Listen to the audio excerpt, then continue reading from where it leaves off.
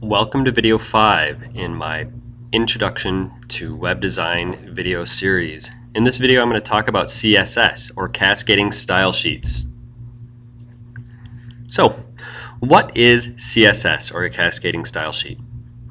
First of all, I'm just going to show you what it looks like. I'm going to do it and you can see the results and then I'll go into depth into why we would use them.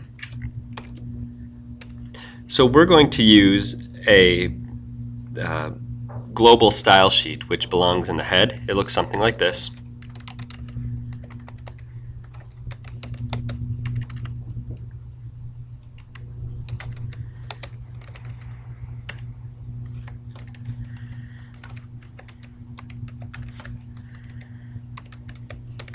Style will open and close and it has an attribute in the opening style tag that says type.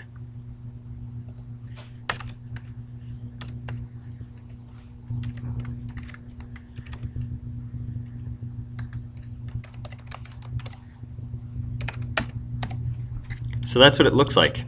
We've got our style, our style sheet, and we've got a style rule. I'm going to save it, going to launch it, and you can see. What I did is I changed all of the paragraphs in our document to have a red color. That's what a style sheet does. It changes the way your HTML will display in the browser. So let's go into detail a little bit in, in what style sheets are and, and how they evolved. A long time ago, before style sheets, we used to have to do um, quite a bit of formatting in order to change a font's color. For example, let's say I wanted to change the color of all of my H2s. I'd have to do this. Use the font tag, font color equals yellow. I'd have to close the font tag,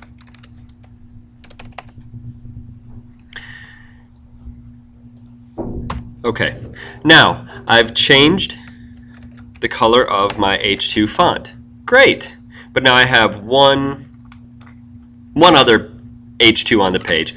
Um, imagine if I had 50 H2s on the page. That would take a while to edit all of those H2s and change their color. it took me eh, maybe about 15 seconds to change the color of that one font. So if I take that 15 seconds and multiply it by 50, I've got a lot of minutes there. And um, let's say you're doing a big job. You've got 50 H2s on each page, you've got 50 pages. That's a lot of minutes added up, changing the color of your font tags. You bring it to the client and they say, mm, I really don't think that H2s should be yellow, I think they should be green. So you change them to green. It takes you another well, 30 minutes to 40 minutes just to change all the colors of the H2s.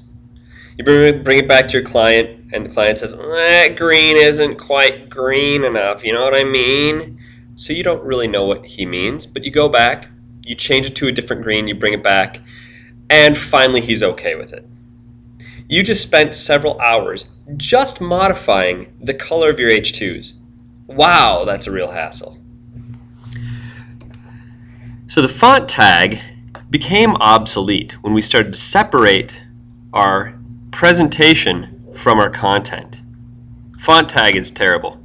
It's a waste of time when I can just do this. H2, I want you to be yellow. What this does is every single instance of HT, H2 on this page will become yellow. So if I change it to yellow, run it in the browser, and my client doesn't like it, okay, they don't like the yellow, I want green, we'll go back to the document, change it to green. It takes three seconds to do that. Change it to green. They don't like that green. Okay, well let's let's go to um, olive because that's another green that they might like. Oh, that's much better. Now, instead of spending several hours on modifying the color of just my H2 tags on my entire website, it would have taken me just about five seconds to get it right.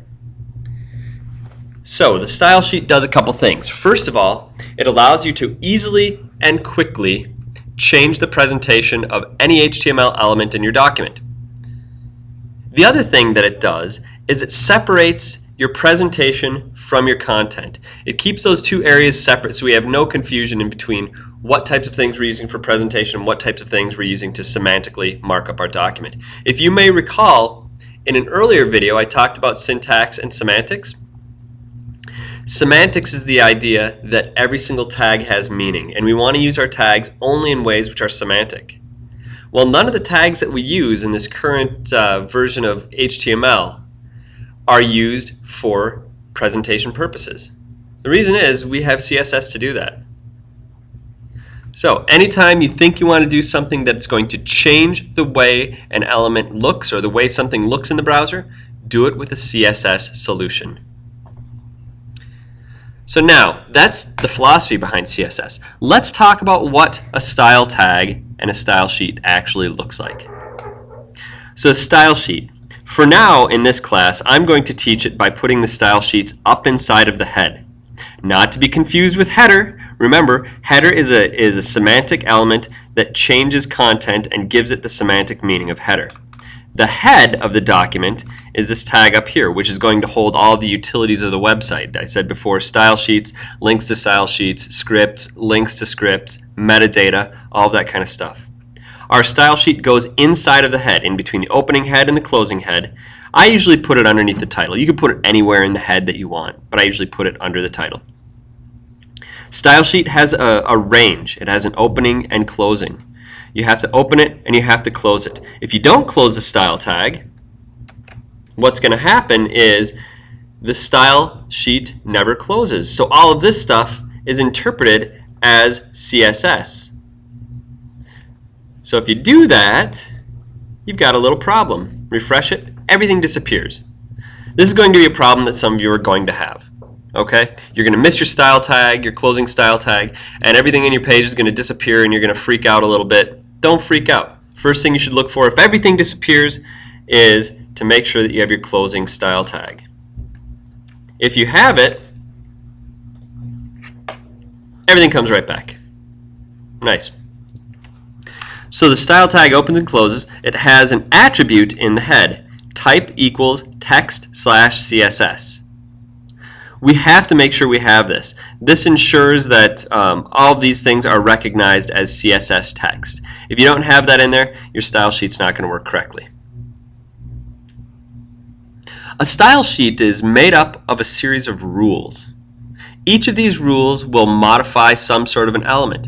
They'll choose an HTML element and modify it according to certain declarations. A rule looks like this, okay? The rule is going to have five parts that we're concerned with. The first part we want to be concerned with is the selector. The selector is the thing that chooses which HTML element we want to modify. The next part we're going to worry about is the declaration block. The declaration block is everything that's contained in between the opening curly brace of the style rule and the closing curly brace of the style rule. The declaration can contain as many declarations as you want it to contain. It's a long block of different rules uh, that will modify all elements chosen by the selector. A declaration is one of those programming statements inside of the declaration block. A declaration has two parts. It's got a property and a value. The property and the value are separated by a colon, and the value is followed by a semicolon. What the property does is it chooses which quality of that element being selected will be changed. For example, one quality could be color. So in this style rule, we've changed the paragraph's color property to red.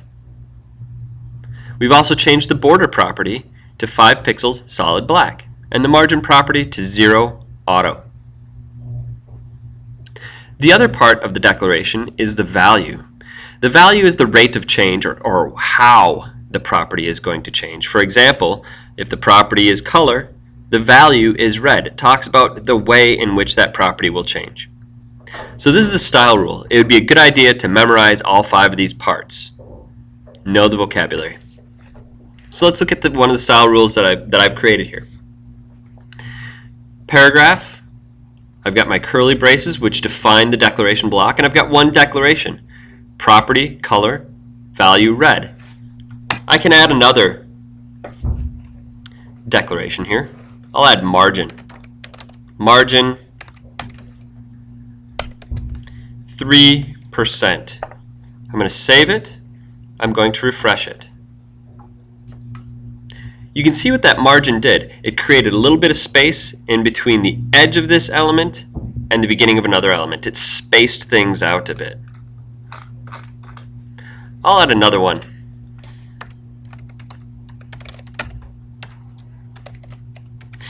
In this declaration, I've chosen to change the background color. I'll change it to green, make it really obnoxious. Save it, refresh it, and you can see that the background colors of these paragraphs have been changed to green. Now what you're seeing here is every single instance of paragraph in the page gets modified in this way. So every time we put a paragraph in there, it's got to behave by these rules. That's one of the beautiful things about CSS, is it allows you to quickly and easily make big, broad changes to the way a website's going to behave. So that's the basics of a style rule.